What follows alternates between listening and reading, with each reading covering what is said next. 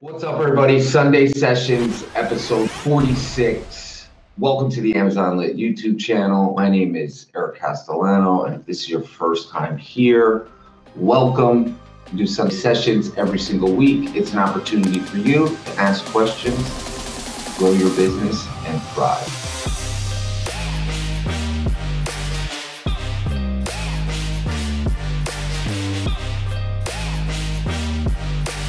How's everybody's Sunday going? Doing anything exciting? I just did some gardening on my balcony. So this past weekend, I went to an amazing Amazon event. It was called SellerCon. It was my first time going. It's actually the first time they've had it since 2018 due to COVID and shutdowns and all of that. But wow, what an experience. And I'm telling you guys and girls all the time, go to events, right? It's where you're going to be able to network, learn what's trending, learn what's working. So invest in yourself. Invest in yourself. Travel to an event. I'm telling you, it's going to change the entire game for you. It really will. Like this weekend, all in between me and Sebastian, we both got hotels, airfare, tickets to the event. You figure maybe it was like four thousand dollars for the for the for the four day trip and that's not including like we rented out a bar for Amazon Lit and the eSellers RI community. That's not including that. That's just like flying there, hotel food, four or five thousand bucks. I'm gonna get an ROI. I've got an ROI immediately, immediately, just the things I learned, right? And then implementing it was gonna change the game. So please attend an event, attend one. You got to. Some good ones coming up. Ecom Summit in August in Chicago, ASD, gotta go to ASD, amazing. I think for Amazon sellers, especially if you're new, is phenomenal. Um, and then AMZ United at the end of August. What's up, everybody? Y'all got questions? I'm here to I'm here to serve. Sunday's my ser- my serving time. Every day's my serving time. Happy Sunday. The liquidation through Amazon, how does that work? Yeah, so we prefer never really to use the liquidation from Amazon. And and you could just pull it up if you go to Seller Central, you could look at they give you a breakdown of an example. Um and I'm not going to I'm not going to cover it because you could just pop it up on Seller Central. But essentially, what it says is that if you have a product that's listed at $20, its sale price listed at $20 on Amazon, and you choose Amazon's liquidation services, you're going to get about a dollar back, which is crazy. A dollar back. That's ridiculous. That's like 5%, right? And typically for Amazon, cost of goods makes up about 40 to 50% of the sale price, right? So you're losing 90% of the of the cost of goods when you liquidate through Amazon liquidation services. So we prefer not to use it because it's it just kills. It's like I rather remove it, um, especially because if you're donating the inventory, what you can do is write off any expense associated with the inventory. So let's say you got a $10 product and Amazon charged you $5 to remove it. You can actually write off embedded in the cost of goods $15 for that product because it's a cost associated with the shrinkage in your company. That's what we prefer to do. Do I know any lawyer recommendations for taking Amazon to arbitration? Yes, CJ Rosenbaum, try him. Top three advice for someone to scale up FBA. Advice point number one understand your finances, understand your cash flow and your profits and your margins. You got to have a firm grasp on the numbers in your business or you're going to be pumping out a lot of inventory and at the end of the year when you got to pay your taxes you're going to realize you didn't even make as much money as you thought you were going to make because you didn't thoroughly understand your numbers right? Super important. Priority number one. Number two the people i got the data on it. These trophies behind me i ship them out every year to hundreds of amazon sellers in our community and it's proven. The people are consistent. People who show up right? The people who are accountable to their actions and ask questions frequently. Those are the people who continue to thrive. It's just proven. Same reason why I'm up every day, taking action, prioritizing my tasks of what's going to drive business growth first. Because all the other stuff's super easy to get caught up in. Super easy to get caught in the mundane day to day tasks that don't drive revenue growth, right? Don't drive profit growth. Some of those things, packaging inventory, you could pay someone 15 to 20 bucks an hour to do that. Is your time more valuable than 15, 20 bucks an hour? I know mine is, certainly is. Right. So that's like a task that you should not be doing in your company. You know, anything to have to do with data sorting, virtual assistant, perfect for that. Right now finding suppliers virtual assistant supplier outreach recognize uh, recommend having someone in the states so understanding your numbers being super consistent and then branching out a lot of people get super comfortable in a niche whether it's shoes or grocery or pet supply like i'm not i never get too comfortable in a niche right? I never get too comfortable in a category. My goal is to sell literally anything that we can make a couple bucks on. So if that's a patio, baby, outdoor, sporting goods, doesn't matter. Uh, industrial and scientific, home, home and health, health and household, home and kitchen. Like we're, we're going wide on our category, and that's so we have a, an ample amount of supply to the end consumer which in turn increases your percentage of your daily buy box. Biggest takeaway from the event that, that I went to. So I've already been using AI for some of my Amazon listings, as well as finding some suppliers, as well as supplier outreach. Our team's been using AI, but we're going to go much heavier on AI right, for product design, um, as well as Sebastian and I, we were talking, you know, we own four or five different private label brands, but the thing is, we created them three to five years ago you know, and they've just been very consistent ever since then. Very consistent. You know, some do 30 a month, uh, 30,000 a month, some do 50,000 a month, some do 2,000 a month. You know, and for each private label brand, some of them we have 20, 30 SKUs underneath that private label brand. But Sebastian and I, we came to realization like we're living off the work we put in two, three years ago with our private label companies. We haven't developed any new private label products since then. So my takeaway was we're going to start developing some new private label products to add to our wholesale and brand exclusive Amazon account. No, I actually manage all the PPC myself. It's one of the few things I still still do in my business.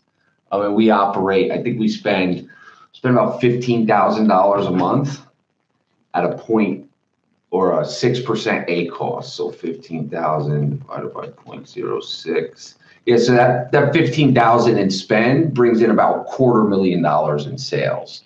And now keep in mind, half of that fifteen thousand is paid for by brands that we manage, right? So we're really only putting in seven thousand, which is dumb cheap. And if I remove the brand PPC spend, from our PPC spend, our PPC spend is probably closer to two or three percent.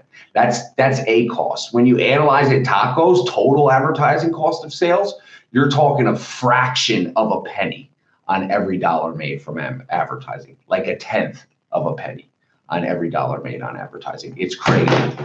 It's crazy, right? Because you figure you do fifteen thousand. What do we do? Fifteen thousand divided by let's just call it 5.5 million. yeah, it's uh, a fifth of a penny. So one fifth of a penny goes to PPC spend for every dollar in sales revenue. That is crazy. That's nuts. It's nuts. Uh, one of the best tools to use accurate uh, sales prediction, we prefer to use AZ Insight. And then our backup is AMZ Scout, the free version. But we definitely pay for AZ Insight. It's not a question, along with Keepa as well. Cannot use the free version of Keepa. The supplier is a, a deal on a product, but they require to buy two to three months of the product. Would you buy it and store the excess at your warehouse? Because typically I send about 30 days of So there's a few things I would need to know before even answering this question, and a few things you need to analyze before you can answer this question for yourself. So number one is, do you have any historical sales data from your Amazon account for that product? If it's a brand new product, typically we will not go in and overbuy over that 30 day mark, right? But when we have historical sales data from our account, preferably more than 30 days, anything 90 days plus of sales data, then absolutely we will invest the two or three months in that inventory. But there's a few other things to consider before making that decision. The second one would be how much inventory does the distributor have? Because if they're saying, hey, you can place a special order, let's say it's 5,000 units, and for you that's two to three months of inventory, but they're fulfilling special orders for 10 other people, you know, in a couple weeks, that listing's not going to look the same because what's going to happen is the offer count's going to go up and what happens when the offer count goes up? Typically, the price goes down, right? Basic economics. And then the third thing to consider is cash flow. Do you have the cash flow to leave an extra two months of inventory sitting around in your warehouse? Or how much more valuable would it be if you were to buy some other products with that inventory you're about to sit in your warehouse for two to three months, right? And invested in other products that you could simultaneously sell during the same 30 day period to get cash back into your business. So these are all things to consider before we personally make a decision where we're investing enough inventory or enough cash to buy inventory for two to three months out. I've seen a lot of people get burned. I personally got burned, and that's why I always run through those three scenarios before I make that decision. You know, an example of that was a buyer came into my my office a couple days ago and said, "Hey, Eric, the MOQ on this product's a thousand units. Should we buy it?" I looked at the product. We were making like two, maybe three dollars, so it wasn't terrible, right? Price was very consistent. Everything checked out, but the thousand units was about two or three months of inventory. It was a little aggressive. So one of the first questions I asked her, I said, "Hey, how much inventory did the supplier tell you how much inventory they had? She said, yeah, they have 15,000 units. I said, absolutely not. It's a no, absolutely not. Right now, for us, it was only a two or three thousand dollar investment to make two or three thousand dollars, right? Because the product was three bucks, the profit was about two or three bucks. So it wasn't a huge investment for our company. But because I had the knowledge and, and the data that that company that was selling us the inventory had literally 15,000 units, the chance of that price staying consistent are slim to none. Because typically it will drop, it will be on the decline. Because once again, seller count goes up, price goes down. How is your PP so good? Is there a module on it in eSellersRI? Yeah, absolutely. It's the same exact the same exact methodology I use in eSellersRI is the is how I get my PPC at six percent literally the same exact, right? It's just important to point out, and this is something that I think is overlooked in the training modules, is the video where I discuss reviewing your campaigns, constantly popping in. I'm popping in at minimum once a week, at the bare minimum. And if I'm setting up a new campaign, I'm popping in two to three times a week to manage the spend, right? It's important. You got to. You can't just set it and forget it. Should I tell distributors or brands I'm an Amazon seller to open up a wholesale account? So typically in the beginning conversation, that's not something we're disclosing. You know, obviously they're going to ask sooner or later, and then we disclose it. But you don't want to get, you don't want to be immediately judged because that's what happens typically, right? And the reason it's the same reason why I've shut down my wholesale account. I only deal with certain people, is because the new the new Amazon seller right? And this is another reason why our training is so important. The new Amazon seller is a nightmare to deal with. You don't understand case packs, MOQs, uh, the difference between a UPC and EAN and a GTIN, how to submit your orders, um, how to schedule shipping, all those fundamental things that you should have a, a, a hold of or at least a, an understanding of because most new amazon sellers they do not understand or grasp those concepts. It makes dealing with them very very challenging and complicated right and i my wholesale company probably gets five to seven emails a day and once in a while i pop into the email and i read them and it's just a constant reminder of why Amazon sellers suck. At the end of the day, I am one, and I'm here telling you that a new Amazon seller is a nightmare to deal with because you don't understand the vocabulary or the vernacular and the way to use it and how to really seal these deals. So it's dealing with a novice and and it makes it complicated for the distributor and the wholesaler on their end to put in all that work for a $1500 order. It makes it complicated. And I want to see you win. I want to see you succeed right? And that's why I do these Sunday sessions and we have our training program. And we did a free event in, in Austin the other day. You know, we're like, this is what we do to educate all of you to become better so you can provide for your families and most importantly, obtain time freedom. Because money's fucking cool, don't get me wrong. I love money, but something I love more than money is time. Because without time, it doesn't matter how much money you have. You can't use it. You can't spend it. You can't enjoy it. Yeah, I'm not the guy to ask FBM, man. I haven't sold an FBM product in probably four years, three and a half years. And that was one of the main reasons because just dealing with the customer, the customer nightmare of it's just something we stopped doing. But I highly advise doing it, especially if you're new, because it's a quick way to turn around cash, especially in Q4. Also in Q4, you can make some crazy money on the expedited shipping fees. Um, plus, you can literally list the inventory and sell it that's within 10 minutes later of it going live. Um, so if you're just getting started, I encourage you to do FBM, right? At our scale, FBM just doesn't make sense. We ran the numbers on it. I, I ran the data. We can produce so much more, make a lot more money by allocating our time to FBA stations opposed to FBM stations. Yeah, so instead of Amazon seller, I just I just get straight to the point. Hey, my name's Eric Castellano. I'm from insert your company here. Uh, love to open up a wholesale account. Please send over your catalog and account application. Right? Keep it super straightforward, super simple. Don't overcomplicate it. And I guarantee you're going to send out about hundred of those emails, and you'll be lucky and excited if ten of them respond to you. Right? That's also the importance of using a CRM, which most people aren't using either right? You use a CRM, you send them the email, you know when they opened it. And if you get that notification and they just opened it, you send an immediate follow up while they're reading it. So now they're thinking about you. They got your email open on the phone or their desktop. They're reading it, and boom, you hit them with another email. Now they don't know that you got a CRM and that you just saw that they're there, right? It creates the perfect storm. It really does. It's a game changer. And it's the biggest problem that Amazon sellers deal with. And just the other day, I had a call with someone who they just joined Inner Circle at our highest tier, which is a, a six figure investment. And our original Inner Circle call, where they were on the fence of joining or not, they said, Eric, we need distributors, you know, and we'll pay you for distributors.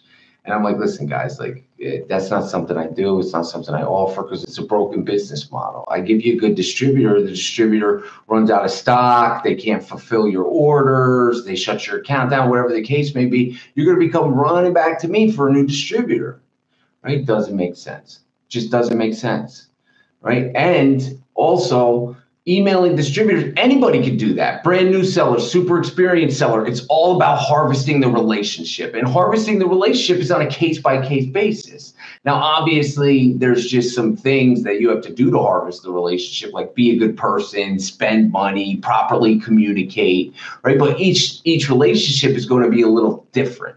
And that's where most people fail is harvesting and growing the relationship. Take it back to the beginning of the Sunday sessions. That's why I'm a firm believer in travel. I go to at minimum 12 Amazon events every single year, right? I've already been to three or four in the past couple months. I try to go to one a month at the bare minimum. Some months, like August, I'll be at three. It's because you can't put an immediate number, dollar amount on your investment in a trade show, right? Because there's been trade shows I went to three years ago where now I'm opening those accounts right? So if you were to be like, ah, I just I went to that show and it didn't work out, I'm never going to an Amazon event again.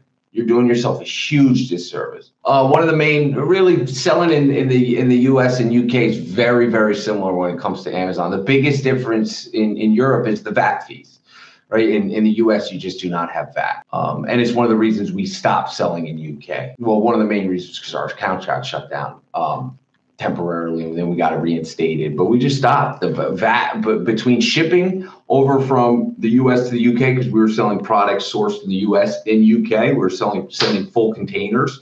After we weighed the cost of shipping which for us at the time we were sending these these full containers to the uk were like i think it was eight or nine thousand dollars might even been more than that. It was crazy right? And there was only about 5000 units on it. So you're looking at two dollars an item you know, and the average margin or average profit dollar amount on that on that shipment was maybe like four to five dollars.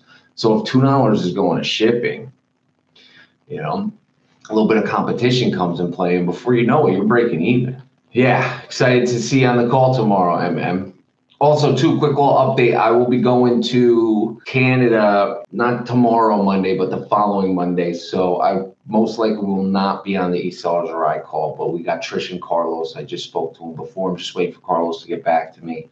Um, but they will be manning the the call, right? I'm I'm at literally there's 52 calls a year. I'm at at minimum 50 of them. This probably other than when I got back from Vegas and I was super sick, I just don't miss these calls. They're super important to me. Not only do I learn a lot on my own coaching calls from all of you who attend them because you're all so intelligent, you have your own businesses and you're teaching me things, right? Also, I have the capability of helping you guys change your lives, which is fucking win-win for me. Move on. If they're saying they don't sell to Amazon sellers, move on. Put them in your in your sheet and and reach back out in 30 days. And when they say no in 30 days, reach back out again. That comes to point number 2 where the gentleman asked the, my top three tips for scaling a business consistency. A no today simply means a no today. You got no idea what's going on in that person's life. No idea. Could have had a shitty day. Opened your email. They're just like, I'm not, I'm not dealing with this guy today. So they said, you know, we're not dealing with any Amazon sellers anymore. Follow up, follow up, and follow through. I guarantee you email these guys a bunch of times and they keep telling you no.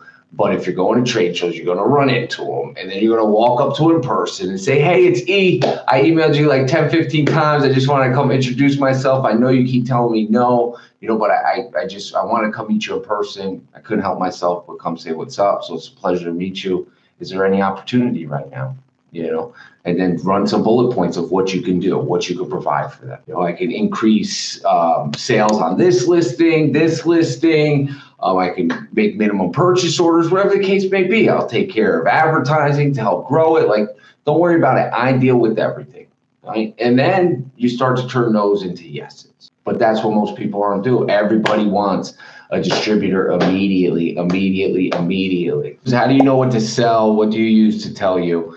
Uh, so we like to use UPC scrapers and a and a, a Chrome extension called AZ Insight, right? So a UPC scraper will give you a general idea of products that are typically ranked lower depending on what your prerequisites are that you put in as well as estimated profits. And then when you pop open the listing you're able to analyze az insight plug in your cost of goods see if you're eligible to sell the product see if it has any hazmat restrictions uh, make sure there's no discrepancies in the shipping weight so you're not getting under or overcharged your fulfillment fees.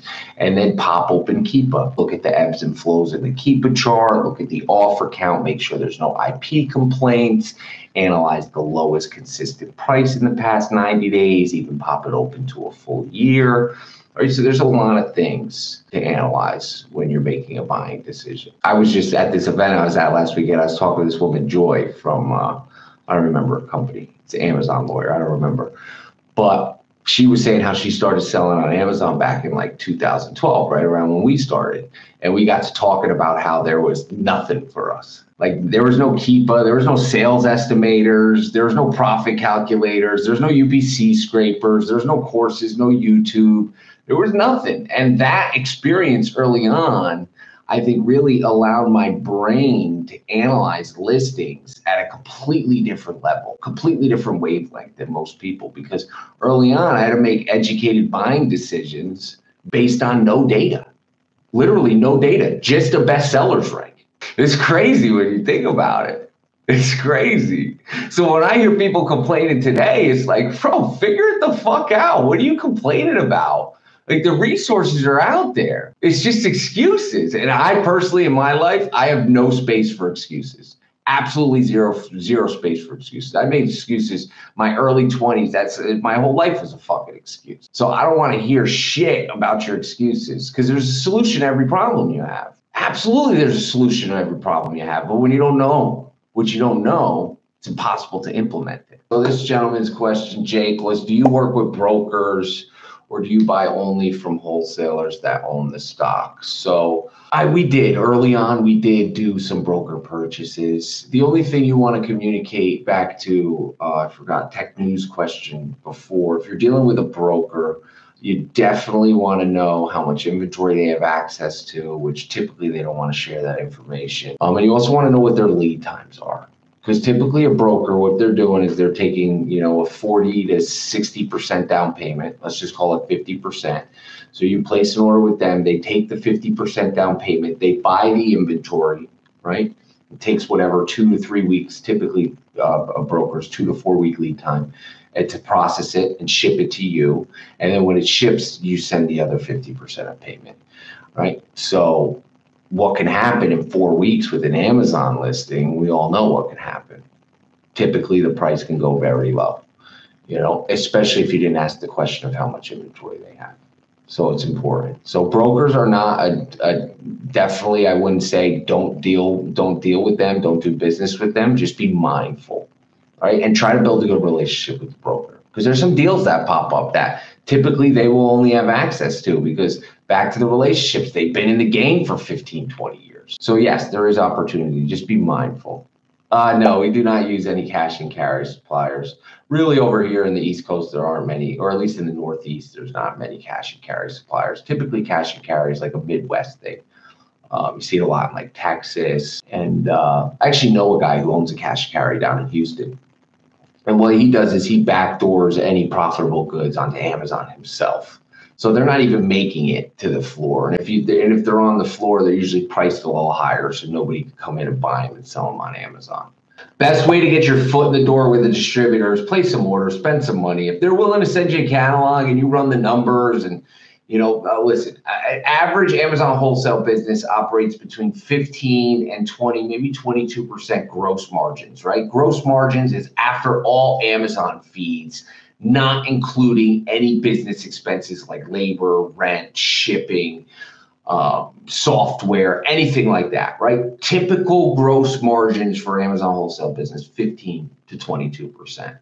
So, in order to place an order, with a supplier, sometimes you got to go a little lower than those 15 to 20% to get your foot in the door, to let them know that you're not that new guy who's just trying to skim for the two or three profitable products, spend the bare minimum with them, right? And and not really harvest any relationship growth. So in the beginning, I'm comfortable taking a lower gross margin to show my commitment, right? Because most people aren't willing to do that.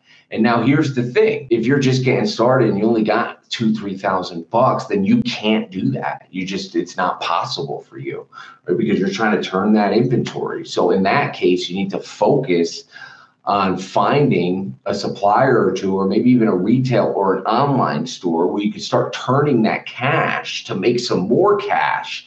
So then you can go making those purchase orders where maybe you're only at a 13, 14% gross. And after expenses, you know, you're still making a dollar, dollar fifty in, in net profits. Because I'm a, I'm a firm believer in volume. I'm a volume guy. You know, and I know someone just joined eSellers Ride just a couple days ago, and she had zero sales. Right? She just joined, just started selling on Amazon. She found a heavy hitter SKU. Boom, three hundred dollars first day in sales, seven hundred dollars second day in sales. Like thousand bucks in two days because she found a, a heavy hitter SKU. And yeah, profit margin, let's just call it 20% before expenses. So she made 200 bucks off those sales. And really it's a it's a zero for her, right? Because she's just getting started. It's just getting started. She's going to reinvest that money back into inventory. So then it's get the snowball effect. It just starts building up on each other. Yeah, no, I'm sending contracts to any brand that I'm getting exclusive with. Hell yeah.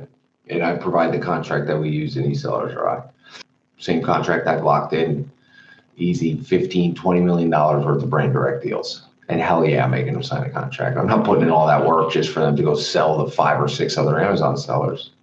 It'd be a nightmare for me. It's a lot of work building, building, building brands on Amazon. The shit's not easy. And if you're sitting here questioning why you haven't signed an exclusive yet, like don't beat yourself up. We didn't start getting exclusive deals till we were like four or five years in maybe even longer. Might have been year five, right? Figure 2013, yeah, it was probably like 2018, 2019, we got our first exclusives, right? A, because there's nobody to teach us the shit. We had to figure it out ourselves.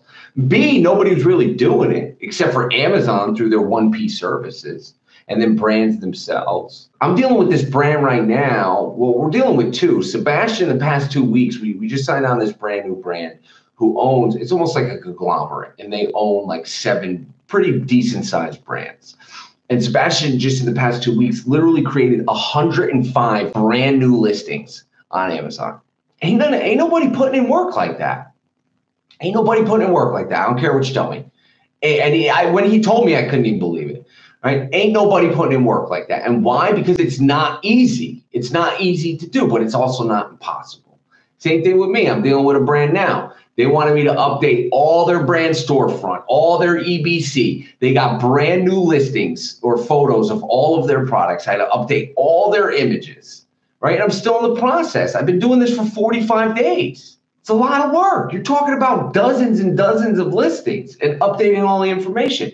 And then what they do is they pop in and then they want changes. It's fucking tedious. And if you don't know what you're doing, it's going to make it very complicated because anybody could whip up a listing, but does it have phenomenal images? Does it have a great infographics? Got some lifestyle shots? How's the SEO in the title? Is it embedded with keywords? Does the description have embedded keywords? What about the bullet points? Are there keywords in that as well? Right? Are there any pain points that the customer or, or either your competitor's customer or your customer has complained about in the past? And are you putting those pain points all over that listing? So people know when they're about to buy it that this this product doesn't do this. It doesn't perform poorly in this respect anymore. Right. So if you're doing those things and you're capable of doing those things, absolutely lock into some brand exclusives. If not, I encourage you learn more about selling on Amazon. When buying inventory, what is your minimum sales per month you typically look for? Oh, we have a unit minimum, and it's just for efficiency in our warehouse. It's 24 units. Typically, we will not, we will not buy less than that. But that's also at our scale. Early on, we would go as low as six, sometimes 12 units, but also depends on the profit as well. It's like there's no blanket statement. And I try to train, well, I don't try to, I do train my buyers on this all the time. Like anything I say, it's not a blanket statement. There's always those exceptions, right? And that's why it takes an intuitive thinker to be really good at being an Amazon buyer. It really does. Someone who thinks outside of the box because you can set up these prerequisites in your company minimum $2.50 profit and 10% gross margin, right? Minimum 150 sales per month, maximum seven sellers, minimum three.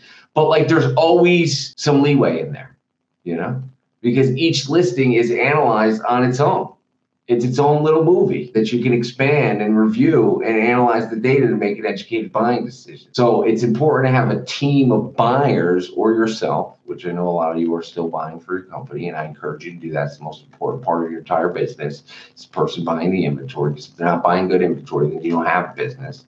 You're just moving products to move products, and nobody likes to do that. But having an intuitive thinker and allowing them to be a free thinker as well right? Allowing them to make mistakes instead of beating them up about mistakes, bringing them to your office and training them exactly why they made the mistake, what data they missed, and the reason why it happened, and then showing them the proper way to analyze that information. Right? I was listening to Alex Hormozi. He had a bit been a real, maybe it was a YouTube video. I don't know. I watched the guy a lot but um, he was talking about how one of his employees made a mistake that cost him, I forgot, it was a lot, maybe fifty, sixty thousand dollars in like one day, right? And he said he didn't fire that employee, and I completely agree with that sentiment because th- you cannot train that mistake. Like that person made that mistake, and I guarantee you they will never make that mistake ever again. They are now a superior employee because you've allowed them to work through that mistake, make it move on, and become better at their job. Now, if they make that mistake again, they got to go. They got no space in your company if they're making the mistake twice. You know, we work the same way with our buyers. We let them make mistakes because I know I'm human. I make mistakes. I buy products that we get killed on. For one of the brands we manage, I created a listing, three listings, one pack, two pack, three pack. In order to get it manufactured from overseas, I had to commit to 6,000 cases, which was or no, I apologize, it was 1,000 cases, six units in each. So I had to commit to get it manufactured to 6,000 units. And I created three brand new listings for that had no sales traction, brand new, literally brand new. Long story short, sold through about 4,000 of them. The other 2,000 expired while they were in inventory and the product weighed about three pounds. So in order to dispose of it, not only did I lose the 3,000 the three dollars times the two thousand units. So what's that? Six thousand bucks I lost on the cost of inventory, but then it was another three thousand dollars to dispose of the inventory because it expired in, in Amazon. So now you're looking at, you know, nine to twelve thousand dollar loss. And that was me. I made that mistake. You know, and I've been doing this shit for nine years. It's part of the game. I'll never make it again. I'll never commit to having thousand cases of something manufactured and I didn't test it, right? But it's because of the relationship. The, the guy, and he ended up working me a little. He reimbursed me some of the money, but I took a risk and I knew the risk I was taking. Do I regret taking it? Absolutely not. Uh, what I mean, for example, if a case is 12, but the listing will only sell four units a month at a decent profit, would you buy it or is the sales velocity too low? It's too low it's too low because then you're buying three months of inventory. So let's just say it's a high ticket product, right? Because we, we sell some four or five hundred dollar products where, where our profit is, you know, 80, 120 bucks. Right. So even then, if it's only selling four a month, you got to buy 12. You know, now you got two extra months of inventory just sitting around collecting dust.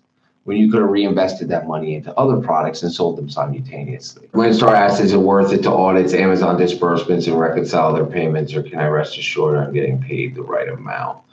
I mean, as far as disbursements and reconciliation, I mean, you could audit it, but it's going to be it's going to be a lot of legwork on your end. Um, something I do recommend is using uh, companies like Seller Investigators, uh, what's another one? Sifted is another one, which I believe Scott created many years ago, and then I think he sold it. Might have a different name. There's a few of them out there, but essentially what they'll do is they will kind of essentially do that on a. They're not going to go through your. Uh, well, they will. They will to an extent, right? They're looking for discrepancies that Amazon made mistakes in, right? Return, shipping fees, lost inventory, damaged inventory. So they're going to do a lot of that legwork for you right? So I highly recommend. I mean, the one I would say is probably Seller Investigators, um, which is owned by Carbon Six. I'm actually going to Cancun on Wednesday. Just kind of happened. Booked the flight a couple days ago. My girl's sister, her her family were going to Cancun for a quinceanera, and they were going to bring their parents, not my girl's parents, but her brother-in-law's parents, but they canceled last minute. So they called us and they're like, hey, you go book a flight to Cancun on Wednesday? I was like, say less, booked it up. And then I'm sitting at my computer working today and, and United upgraded us to first class. That's the move too. Right. First of all, if you never flown first class, I highly recommend it. It's just an experience. And then you'll never be able to walk by those first class people ever again and not want to be in first class. Um, second is something I like to do is listen, I buy first class tickets everywhere I go. It's just ridiculous. Like for example, Austin, the the ticket was like round trip was maybe 500, 600 bucks, right? But then the first class ticket to Austin was $1,800, right? But the first class ticket home from Austin was like three, 399 or something? On checkout. So I was like, all right, the 399 one, I know it's going to get less. So I didn't purchase it immediately waited two or three days, hopped into United app, got the got the the flight home first class ticket for like 250 right? And the the flight there was still like a thousand bucks so it dropped like 200 300 dollars or seven or eight hundred dollars. I don't know what it dropped but it dropped. And long story short i flew out to austin in business class not first class right? And then i flew home in first class so um, also right before the flight typically the price of first class will go very low and if you fly, fly frequently, they'll give you updates or upgrades rather. Like this flight to Cancun, I didn't have to pay for first class, but they upgraded me and Catherine. So I'm cool with that. Um, I'm new to Amazon. I need help. I have a set I want to send, but it's 10 inches long and three inches wide. It's a box can I wrap it or do I have to use a poly bag? So first thing to consider is what's Amazon's prep services for the item or prep guidance rather. So when you go to add the item to a shipment, it will tell you what's re- Amazon requires to prep it. So if it says poly bag, then you have to put it in a poly bag. Now, if it doesn't say that there's any prep guidance for it, then you are able to make that decision. But typically, if it's a multi-pack, it will need to be in a poly bag. But if it's just that box, right? So here's an example. If it's just that 10 inch long, three inch wide box, and you're sending multiple boxes, and that one 10 inch wide, three inch long, or 10 inch long, three inch wide box is one ASIN, right? What I would do is take multiple of those boxes and put them in a bigger box. You can put them into a box that's no greater than 25 inches on any of its sides and no heavier than 50 pounds, right? So you could throw them in all those little 10 inch long, three inch wine boxes into a bigger box. You just got to make sure that you label them with FNSKUs and maybe even do not separate stickers depending how it's packaged, the box. And then you would slap a box label and a 2D label, which isn't required, um, on the what the box label is on the outside of the shipment, and you send it off to Amazon. Oh, it's a three pack. So then, yeah, if it's a three pack, you'll need to polybag it.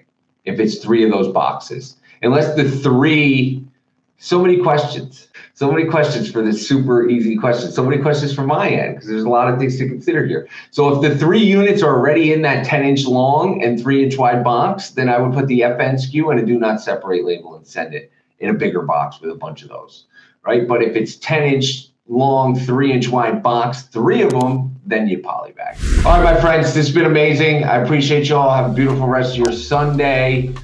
Um, we'll see some of you on tomorrow night's live call. eSellers Ride all right. Keep grinding. Keep doing what you enjoy doing. And have a beautiful rest of your day. Catch you on the flip side. Stay lit, my friends.